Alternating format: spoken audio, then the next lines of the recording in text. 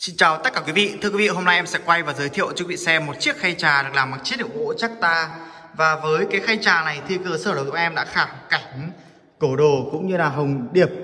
Đó, bằng chất liệu ốc là ốc vàng chanh và xanh hòa lý của Singapore. Chiếc khay này thì đang là có kích thước là chiều dài là 33 và chiều rộng là 22 quý vị nhá, bằng chất liệu gỗ chắc ta. Đó, đây. Em sẽ quay những cái đường nét chi tiết cho quý vị xem. Bởi vì cái hàng này nó là hàng kỹ thuật cao hàng kỹ thuật cao vậy nhá. Đây, hình ảnh của cây hoa hồng này. Đó nó được cắt thể hiện qua từ những cái gai gai ở cái thân cây hoa hồng, quý vị ạ. Và những cái phần lá này thì đều được xe lọng, quý nhá. Đó, đều được xe lọng.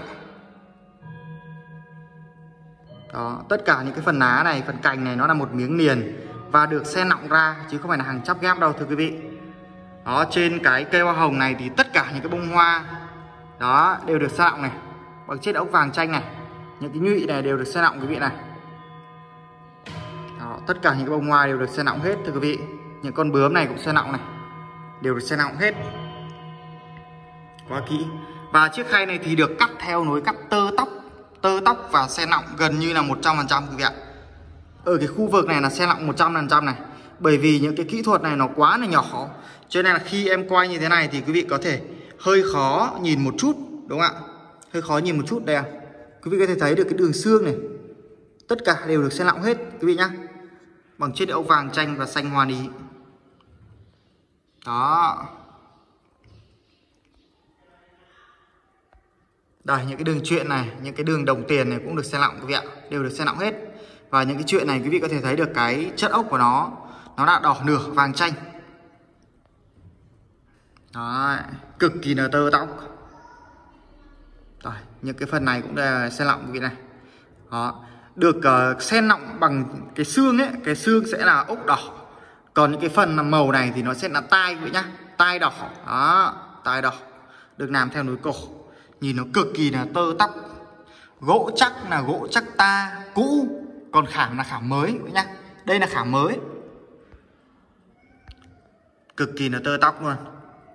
Đây là hình của con rơi hóa này, quý vị này. Con rơi hóa này đó, được xé nóng rất là kỹ. Bộ chữ một bộ chữ triện cổ.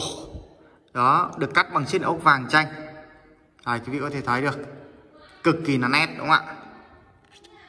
Rất là tơ tóc.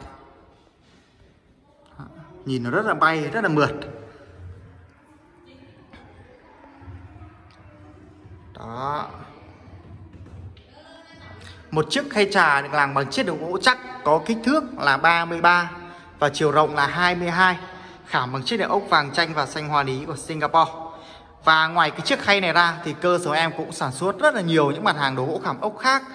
Đó như sập gụ, tủ chè, hoành phi, cầu đối và ờ, rất là nhiều tranh và quý vị nào mà có nhu cầu tìm hiểu thêm về tất cả những mặt hàng đồ gỗ khảm ốc của cơ sở đồ chống em thì quý vị hãy vui lòng là liên hệ với em theo số điện thoại 0383639886 quý vị nhá.